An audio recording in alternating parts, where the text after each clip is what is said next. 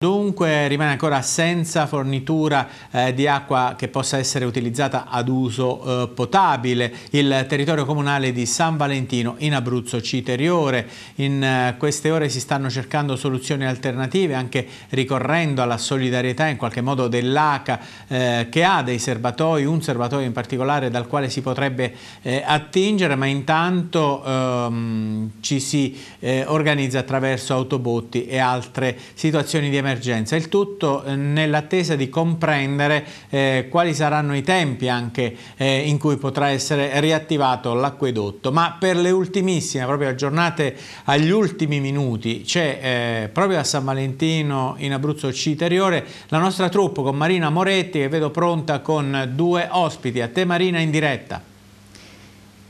Sì, buongiorno Carmine, buongiorno ai nostri telespettatori. I miei due ospiti sono Lino Sciambra, vicepresidente del Consiglio Comunale e il presidente del Consiglio Comunale, ma anche medico di base del paese, il dottor Francesco De Gregorio, che ci ha appena raggiunto proprio eh, in quasi fuori tempo massimo per la diretta. Intanto eh, oggi abbiamo fatto parecchi giri per il paese, la gente è molto tranquilla, devo dire che ha preso la cosa come dire con filosofia. Certo ci si organizza con le bottiglie d'acqua acqua. Si spera che questa situazione eh, duri meno possibile. Eh, doveva arrivare l'autobotte o dovrebbe arrivare a momenti, c'è stato un piccolo ritardo, ma adesso sarà proprio il vice sindaco a eh, spiegarci eh, dove, dove verranno posizionati questi punti e anche da quando. Sì, stiamo aspettando proprio a minuti l'arrivo di un autobot che porterà già dei serbatoi che verranno scaricati e posizionati in quattro distinti punti del paese uno, in, eh, uno appunto in paese, l'altro in contrada San Giovanni, un altro in contrada Trovigliano e l'altro dovrebbe essere in contrada Cerrone, Solcano. Eh, sono dei serbatoi di acqua potabile da cui poi eh, le persone potranno andare liberamente ad attingere il quantitativo di acqua di cui hanno bisogno. Che significa insomma portarsi taniche o contenitori? Giusto? Sì, esatto. Poi il, il, il, la, il quantitativo dei serbatoi verrà monitorato costantemente perché noi stiamo cercando di assicurare il rifornimento continuo in maniera tale che questi serbatoi siano sempre disponibili. Questo per tamponare l'emergenza. Poi ci sono altri provvedimenti che stiamo prendendo proprio per cercare di ripristinare eh, a sì, tipo il, um, mi aveva spiegato per telefono che vi siete rivolti all'H eh, per poter utilizzare il serbatoio H perché ricordiamo che l'acquedotto di San Valentino è eh, del, gestito dal comune di San Valentino, non è allacciato all'H ma questo serbatoio è in una posizione tale da consentire eventualmente l'allaccio. Sì, stiamo, abbiamo chiesto all'H proprio questa mattina la possibilità di utilizzare il il, loro serbatoio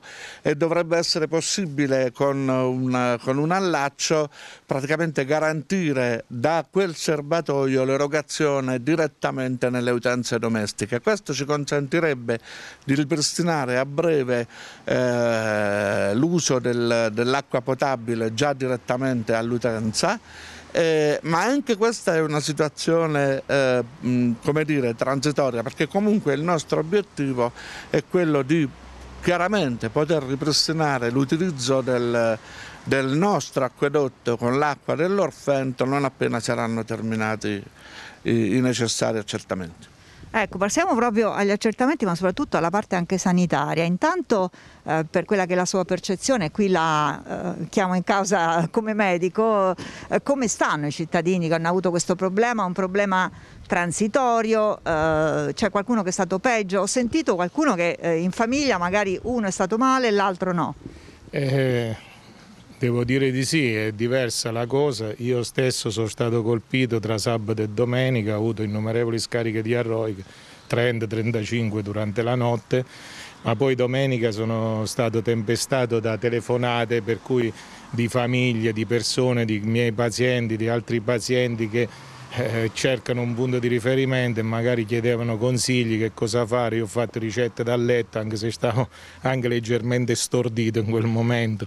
E poi la, la situazione è continuata anche tutta la giornata diciamo tra domenica e lunedì.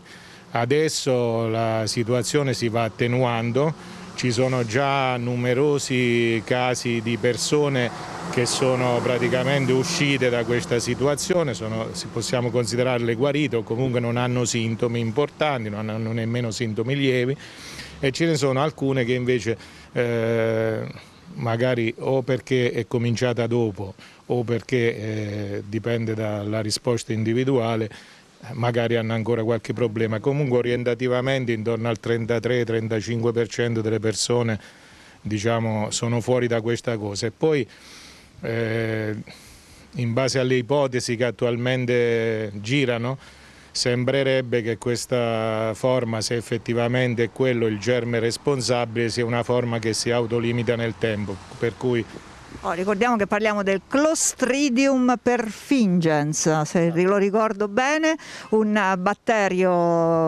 unicellulare che è stato appunto eh, che è emerso eh, letteralmente dalle analisi dell'acqua, dai campioni anche prelevati. Si attendono i risultati di altre analisi, si attendono anche i risultati eh, delle analisi delle feci delle persone colpite, insomma c'è ancora molto eh, che deve essere accertato, quindi per il momento l'acqua non viene utilizzata per uso alimentare, meglio non lavarsi neanche i denti con quell'acqua.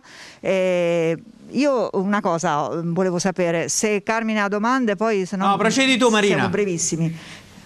Eh, I cittadini mi dicono, mi hanno detto girando per il paese che sono anche cittadini anziani che non hanno internet, che magari non sono pratici neanche a leggere un messaggio sul telefonino questi cittadini come sono stati raggiunti? C'è, c'è il rischio che qualcuno non sappia nulla e beva quest'acqua o la utilizzi? Ma noi abbiamo cercato di diffondere nella maniera più massiva possibile, anche raggiungendo le persone che per l'appunto non, non, hanno eh, i social oggi di, di uso abitudinario per telefono.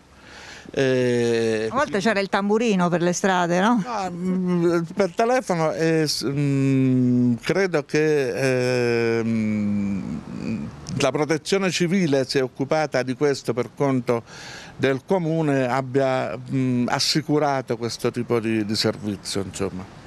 Poi per completare anche, perché avevo già parlato appunto con il vice sindaco, mi ha detto che le ultime analisi eh, risalgono al mese di agosto, era tutto perfetto, l'acqua era perfetta, eh, risalgono al mese di agosto perché i tempi previsti sono quelli, eh, avevamo fatto anche un cenno a possibili eh, rischi giudiziari, qualcuno magari va alla procura, fa un esposto, chiede conto di questa situazione, voi dite noi siamo tranquilli perché i controlli che abbiamo fatto sono quelli che vanno fatti nella norma.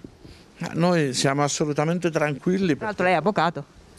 Sì, appunto, cioè noi siamo assolutamente tranquilli e naturalmente siamo sempre stati collaborativi con ogni tipo di istituzione, per cui voglio dire, eh, abbiamo dire, la coscienza a posto, se così si vuol dire. No? Allora, non resta che dire ai cittadini che le autobotti stanno arrivando, insomma, un po' di pazienza.